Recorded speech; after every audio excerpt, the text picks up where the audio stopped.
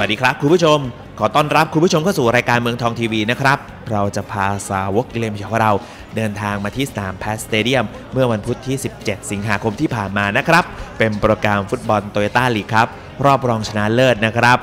ก็คือรอบ 4 ทีมสุดท้ายนั่นเอง สโมสรกิเลนพยองของเรา จะต้องบุกมาเยือนทีมการท่าเรือในนัดแรกก่อนนะครับ ก่อนที่เดือนกันยายนก็จะไปเจอกันนัดที่ 2 ที่สนาม SCG Stadium นั่นเองนะครับสวัสดีครับสวัสดีครับ ผลอแวบเดียวครับ ตอนนี้มาถึงรอบ4ทีมสุดท้าย รอบรองชนะเลิศแล้วสำหรับฟุตบอลลีกครับ ซึ่งสโมสรกิเลนพยองของเราก็ไม่เคยเข้ารอบมาลึกถึงขนาดนี้เลยนะครับ ในฟุตบอลลีกครับถ้วยใบนี้นะครับ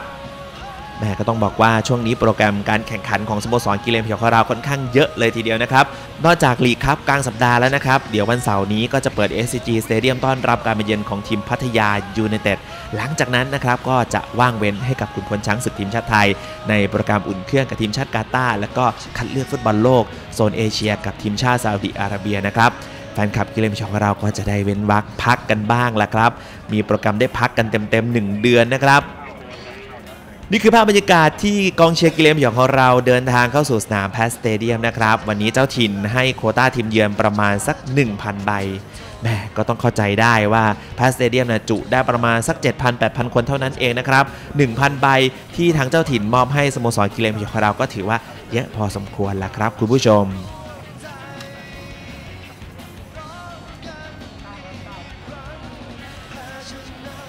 ซึ่งคู่นี้แข่งขันกันเร็วนะครับ 18 นาฬิกาแหมดีใจมาก ๆ เลย ห่างหายไปนานมากเลยนะครับสำหรับการแข่งขันช่วงเวลา 6 โมงเย็นนะครับ แข่งเร็วจบเร็วนะครับ จะได้ทำอย่างอื่นกันได้อย่างสะดวกนะครับนี่คือภาพบรรยากาศที่ขุนพลกิเลนผยองของเราเดินทางเข้าสู่สนามแพทสเตเดี้ยมนะครับนำโดยโค้ชแบน ธชตวัน ศรีปานนะครับ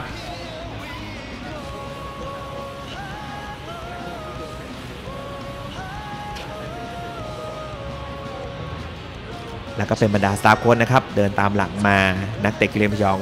ที่ลงมาคนแรกนะครับ เป็นพี่ตาลวิษณุศักดิ์แก้วเรือง พี่ไม้วัฒนาพลายนุ่ม พี่บาสพีระพัฒน์โน๊ตชัยยา พี่นิวเพียรดลฉ่ำรัศมีนะครับแล้วก็พี่ฮาร์ปเสกสิทธิ์ศรีใส พี่เชนสุพรรณทองสงค์นะครับ พี่เจมวสันต์สมานสินธุ์พี่ตองกวินทำสัจจานันครับ เคลตันซิลวานะครับ ดาวซัลโวไทยลีกสูงสุดอยู่ณขณะนี้ทิสตองโดครับ นาโออากิอาวยาม่าพี่อุ้มเทียทรบุญมาทัน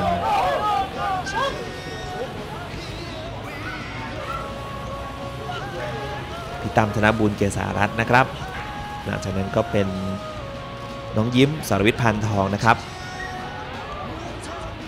พี่ตังสารัตน์อยู่เย็นครับ พี่มุ้ยธีรศิลป์แดงดาแล้วก็น้องบอลชัยวัฒน์บุราณนะครับ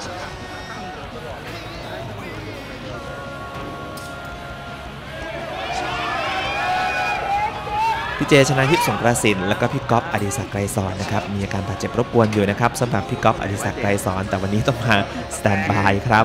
แล้วก็คนสุดท้ายนะครับเป็นซิสโก้นะครับ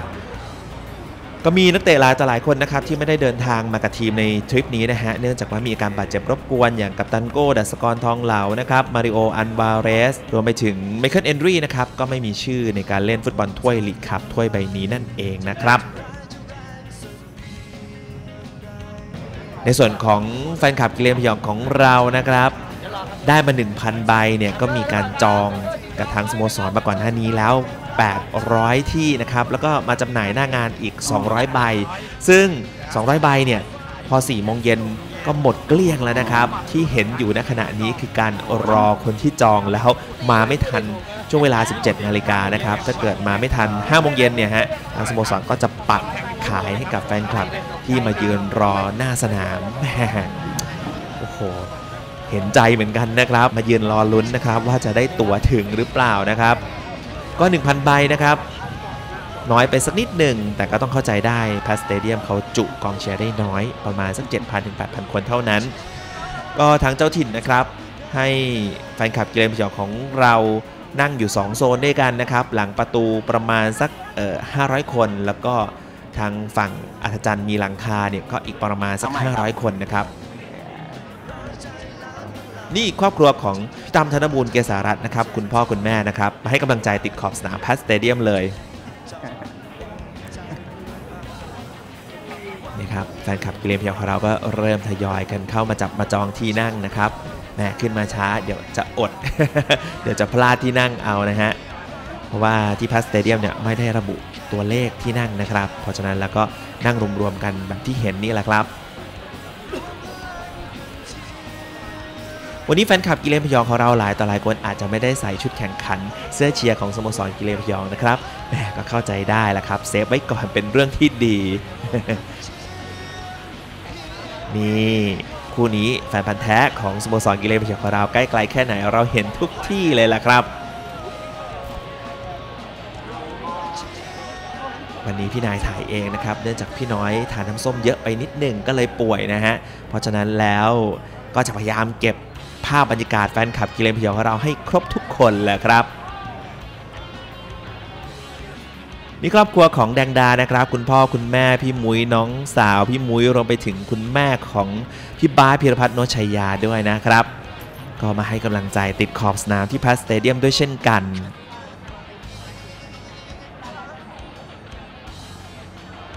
อะนี่ก็กลุ่มแฟนคลับกิเลนพยองของเราพันแท้นะครับ แล้วก็เห็นใกล้ๆตามไปให้กำลังใจทุกที่เช่นกัน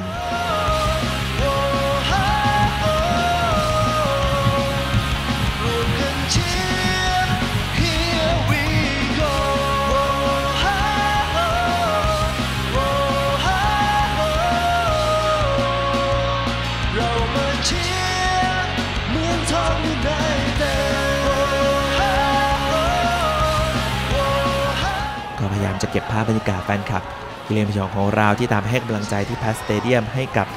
แฟนคลับที่ไม่ได้มีโอกาสเดินทางมาที่พัสสเตเดียมได้ชมกันนะครับ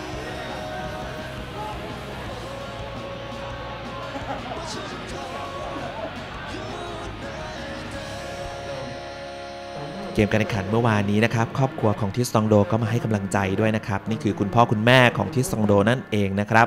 เดินทางตรงมาจากฝรั่งเศสเลย รวมไปถึงน้องชายและคุณลุงก็มาด้วยนะครับ ก็เรียกว่าช่วงนี้ทริสตองโดอบอุ่นเลยทีเดียวมากันทั้งครอบครัวครับ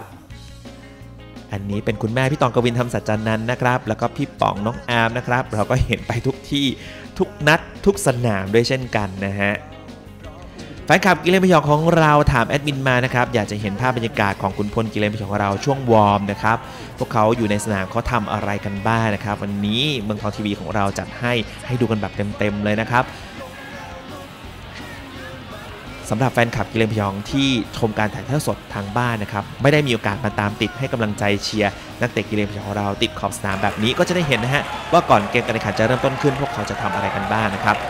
เราจะปล่อยภาพบรรยากาศให้ดูกันแบบยาวๆเลยละครับ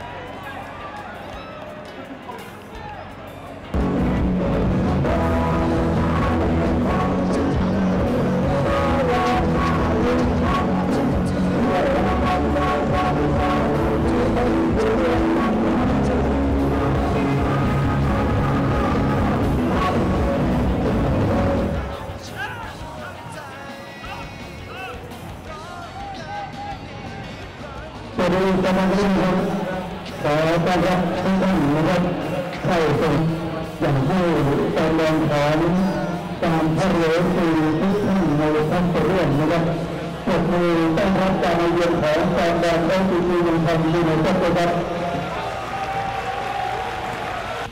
และนี่นะครับพอใกล้เวลาเกมการแข่งขันจะเริ่มต้นขึ้นนะครับ ช่วงเวลา 18 นาฬิกาดูสิครับกองเชียร์ที่ PAT Stadium กองเชียร์ท่าเรือหนาแน่นมากๆครับ 8,000 คนนะครับรวมพลังกันแล้วดูเป็นอีกหนึ่ง stadium นะครับที่ใครมาเยือนแล้วต้องอกสั่นขวัญแขวนอย่างแน่นอน แต่ว่าก็ต้องชื่นชมกองเชียร์กิเลนผยองของเรา 1,000 คนนะครับ ถึงจะมาน้อยแต่เสียงก็ไม่ได้เบาเลยละครับคุณผู้ชม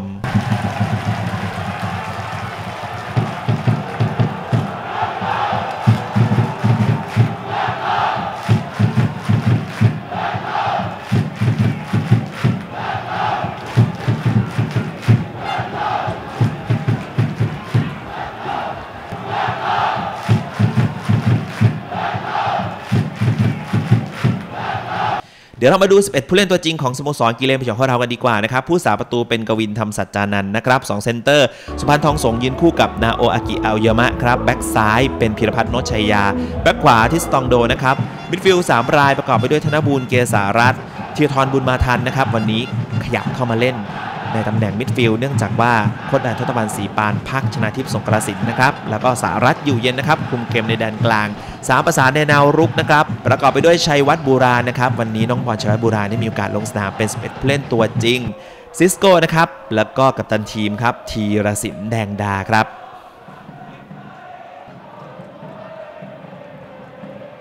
วันนี้มาในชุดทีมเยือนเสื้อดำกางเกงขาวนะครับ ชุดแข่งขันสีดำเนี่ยก็สวยเหมือนกันนะครับแฟนคลับเกรบิยาคอราก็อย่าลืมจับจองใส่เที่ยวใส่เชียร์กันได้นะครับ เป็นการท่าเรือครับได้เขียนลูกเริ่มเล่นก่อน ส่วนกิเลนพยองคอราจะบุกจากทางฝั่งขวามือ ไปซ้ายมือทางจอโทรทัศน์ครับ การวางบอลยาวๆของธนบูลเกษารัตน์ชัยวัฒน์บุรานพักอกหนึ่งครั้งโดนประกาศสิทธิ์ทำฟาวครับ ประกาศสิแสนสุขอดีตนักเตะเก่าของสโมสรกีฬาพยองของเราด้วยเช่นกันนะครับสารัตเปิดลูกตั้งเตะมาแต่ลึกไปเข้ามือรัตนัยสองแสงจันนะครับ วันนี้ได้รับโอกาสลงมาเป็นตัวจริงนะครับสำหรับรัตนัยการแทงทะลุช่องของธีราทรบุญมาทันสวยมากๆธีรศิลป์แหมดวลเดี่ยวกับรัตนัยแต่ยิงไม่ผ่านนะครับโอ้โห super save เลยทีเดียวสำหรับรัตนัยนะครับท่าเรือได้สวนกลับครับ ยังดีที่ทริสตองโดครับวิ่งเติมกลับมาเร็วนะครับ แล้วก็เตะออกหลังไม่ได้ แต่ว่าการวางบอลยาวๆของศิวกรนะครับ ลึกไปถึงติอาโก้คุนญ่าครับแหมมีผลักนิดๆครับ แล้วก็ยิงแบบเหนือข้ามตัวกวินทำสัจจานันเข้าไปตุงตะข่ายให้ทีมการท่าเรือขึ้นนำเอสจีเมืองทอยแต่ไปก่อน 1 ประตูต่อศูนย์นะครับแหมจีโก้คุณย่าเนี่ย เทคนิคแกแพรวพราวจริงๆฮะกระแทกหนึ่งครั้งครับอาโอยาม่าเสียเหลี่ยม แล้วเตียโก้ก็เห็นกวินออกมาไกลนะครับ ดีดข้ามตัวเลยแล้วแหมทิศทางของบอลน้ำหนักของบอลนี่พอดีเป๊ะเลยละครับท่าเรือนำไปก่อน 1 ประตูต่อศูนย์ครับ หลังจากนั้น s c g เมืองทอยแต่พยายามจะไล่เอาประตูตีเสมอครับสารัชจ่ายเข้ากลางให้กับธีราทรจับ 1 จังหวะแล้วกดด้วยซ้ายแต่ว่าบอลมันเดินทางไกลครับ เข้ามือรัตนัย ปิยชาติถามะพันธ์ครับ นี่ก็อดีตนักเตะเก่าของสโมสร SCG เมืองทองยูไนเต็ดของเราครับ วางบอลไปให้ติอาโก้คุนญ่าโหม่งออกหลังไป สารัชครับ จ่ายบอลออกทางฝั่งซ้ายให้กับพีรพัฒน์โนชัยยาตัดเข้ากลางมา มีชัยวัฒน์บุราณเติมนะครับแม่ถูกตัดฟาวแต่ว่าผู้ตัดสินไม่เป่านะครับ ไม่เป่าก็ไม่ฟาวเล่นกันต่อแล้วครับแหมเทียวทอนครับจ่ายออกซ้ายให้กับชัยวัฒน์บุราณครับ มีพีรพัฒน์เติมทางฝั่งซ้ายชัยวัฒน์ให้กับพีรพัฒน์พีรพัฒน์จับแล้วเปิดด้วยขวาขวาก็เปิดได้นะครับ แต่ว่าลึกไปเข้ามือรัตนัยพยายามจะโหมเอาประตูตีเสมอคืนให้ได้นะครับพีรพัฒน์นชชัยยาครับจ่ายทางฝั่งซ้ายวันนี้เติมเกมทางฝั่งซ้ายอย่างเดียวชัยวัฒน์คืนให้กับพีรพัฒน์พีรพัฒน์สุดเส้นหลังเหมือนมีเสียงนกหวีดว่าจะหลุดออกหลังไปแล้วล่ะครับ ทิสตองเติมทางฝั่งขวาบ้างครับ เปิดเข้ามาเสาไกลชัยวัฒน์บูราณโมงปะทะกับประกาศสิทธิ์ครับ แล้วแม่ประกาศสิทธิ์เจ็บเลยล่ะครับ ได้ข่าวว่าต้องถึงขนาดเข้าโรงพยาบาลเลยนะครับ หลังจากจบครึ่งเวลาแรกก็เอาใจช่วยให้ประกาศสิทธิ์แสนสุขหายเจ็บไวๆแล้วกันนะครับเทียวทอนครับ ช่วงท้ายเกมครึ่งเวลาแรกจ่ายบอล killer pass สวยมากให้กับพีระพัฒน์โน๊ตชัยยา และพีระพัฒน์มองแล้ววางให้กับซิสโก้ โอ้โห ไม่มีอะไรจะแม่นขนาดนี้ไปอีกแล้วล่ะครับ แหมพีระพัฒน์โน๊ตชัยยา ตายังกระเหี่ยวเลยล่ะครับโอ้โห cross ไปตรงนั้นแล้วซิสโก้ลอยขึ้นมาคนเดียวเลยโอ้แต่ก็ต้องชมธีราทรบุญมาทันด้วยนะครับ จ่ายบอลข้ามตัด back ของทีมการท่าเรือได้สวยมากๆ อันนี้ฮะพีระพัฒน์มีเวลาครับ แล้วแม่นมากๆครับซิสโก้มีหน้าที่แค่โหม่งบอลให้ตรงกรอบเท่านั้น แล้วก็เป็นประตูที่ 2 ในฟุตบอลโตโยต้าลีกครับของซิสโก้แล้วนะครับ หลังจากก่อนหน้านี้เพิ่งทำประตูแรกในการเอาชนะกระบี่ FC มาได้ 2 ประตูต่อหนึ่งนะครับแล้วนี่คือประตูที่ 2 ของซิสโก้นะครับ ตอนนี้ซิสโก้เองก็พยายามที่จะเรียกความฟิตอยู่นะครับ อย่างที่โค้ชแบน ธชตวัน ศรีปานกล่าวไว้ว่า ถ้าเกิด burn ให้ซิสโก้เพรียวกว่านี้อีกนิดหนึ่งนะครับ น่าจะช่วยทีมได้เยอะเลยทีเดียวในเรื่องของการจบสกอร์นะครับ1ประตูต่อหนึ่งแล้วนะครับ แล้วการวางบอลของธีรศิลป์ แดงดานี่ก็แม่นอย่างกระเหี่ยวเหมือนกันละครับชัยวัฒน์บุราณจับบอลแล้วยิงทันทีเสาแรก โอ้โห รัตนัยแหมวันนี้โชว์ super save หลายต่อหลายครั้งแล้วนะครับ โอกาสวางบอลของธีรศิลป์เนี่ยแม่นมาก ๆเลยละครับ แล้วชัยวัฒน์ก็ ตัดสินใจเร็วด้วยนะครับ ยิงจังหวะแรกเลย แล้ววันนี้ชัยวัฒน์บุราณลงมาในป่วนแนวรับของทีม การท่าเรือได้เยอะเลยละครับประกาศิต แสนสุขจำเป็นต้องทำฟาวล์อีกครั้งหนึ่งนะครับแล้วเจ้าตัวฟาวล์สองครั้งแล้ว ก็ได้รับใบเหลืองไปเป็นจังหวะลุ้นสุดท้ายของ SCG เมืองทองยูไนเต็ดครับเทียทรโยนขึ้นมาแล้วธนบูลม่งไม่ถึงนิดเดียว เกือบจะขึ้นนำ2-1 ในช่วงท้ายครึ่งเวลาแรกครับ จบครึ่งเวลาแรกครับทั้งคู่ยังเสมอกันอยู่ 1 ประตูต่อ1แต่เป็นเกมที่สนุกมาก ๆ เลยละครับกองเชียร์คุ้มจริง ๆ เริ่มครึ่งเวลาหลังครับเทียทรไหลให้กับพีรพัฒน์พีรพัฒน์แทงให้กับชัยวัฒน์ครับชัยวัฒน์ทำท่าจะเปิดหนึ่งจังหวะ ก่อนจะเลี้ยงไปสู่เส้นหลัง ดึงกลับมาอีกครั้งหนึ่งก่อนจะล็อกล็อกเพื่อเข้าซ้ายครับแล้วได้เปิดครับถ้าเรือหวงเคลียร์ไม่ดีธีรศิลป์จับขวายิงซ้ายสวยมากๆครับลูกยิงของธีรศิลป์แดงดาครับ จากลูกยักยาก ๆธีรศิลป์ทำให้เป็นลูกยิงง่าย ๆ เลยล่ะครับนี่ครับต้องชมความขยันของชัยวัฒน์บูรานะครับแหมแกแหวกกันลุยเต็มที่เลย ถึงแม้ว่าลูกนี้จะเป็นการสกัดพลาดของการท่าเรือนะฮะแต่ว่าต้องมาชมคลาสของธีรศิลป์ครับ จับขวาดูดเข้าซ้ายแล้วยิงเบียดเสาเข้าไปแหมคุ้มจริง ๆ ครับ ได้ดูธีรศิลป์คลึงจังหวะนี้ โอ้โหแล้วดูครอบครัวแดงดาครับเฮกันลั่นเลยสำหรับลูกยิงของธีรศิลป์แดงดาครับ เจ้าตัวก็ยังไม่ค่อยสมบูรณ์สักเท่าไหร่นะครับกับตันมุ้ยธีรศิลป์แดงดายังคงมีการบาดเจ็บหลังรบกวนอยู่นะครับ เพราะฉะนั้นก็ต้องเล่นไปด้วยรักษาไปด้วยละครับ นาทีที่ 47 ครับ SCG เมืองทองยูไนเต็ดบุกมานำทีมการท่าเรือ 2 ประตูต่อ1แต่ว่า การท่าเรือเองก็เกือบจะตีเสมอได้ทันควันนะฮะ จากเซนเตอร์เติมขึ้นมาสูงครับโรเชล่าจากการเปิดของปิยชาติถามะพันธ์นะฮะ แล้วก็ยังเป็นการท่าเรือครับ ได้บุกอยู่มารินยาวครับ ดึงซ้ายดึงขวาโอ้โหหลายจังหวะแล้วล่ะครับ ยิงด้วยซ้ายกวินทร์ก็ทิ้งตัวรับไว้ได้สบายๆสารัช อยู่เย็นครับ เติมเกมทางฝั่งขวาแทงออกขวาให้ทิสตองโดจับหนึ่งจังหวะทิสตองจ่ายตัดกลางเข้ามาสหรัฐอยู่เย็น เกือบจะได้ยิงนะครับยังดี ที่แนวรับการท่าเรือสกัดออกหลังไปได้บุดบิดทิสตองโดจ่ายเข้ามาครับ ทศพลสกัดไม่เคลียร์ครับ แล้วปียชาติจับหนึ่งจังหวะจับปลิ้นครับชัยวัฒน์บูราณพลิกตัวยิงด้วยซ้ายแหม่เป็นจังหวะสุดท้ายของน้องบอลชัยวัฒน์บูราณครับวันนี้ลงมาป่วนได้ใจจริงๆแหละครับ หลังจากนั้นเจ้าตัวก็เปลี่ยนออกนะครับ เป็นเคลตันซิลวาครับได้พักในเกมนี้มาเติมความสดในช่วง ครึ่งเวลาหลังครับเชียร์ทอนจ่ายให้กับธีรศิลป์แล้วก็ให้เคลตันเคลตันแต่งเข้าขวาครับแล้วยิงด้วยขวาข้ามคานไปนิดเดียว ยังมีความสดนะครับสำหรับเคลตันซินวา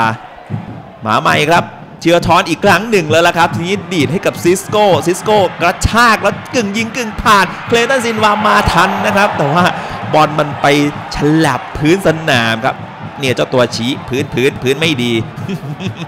แหมซิสโก้จ่ายสวยมากๆครับ จังหวะเมื่อสักครู่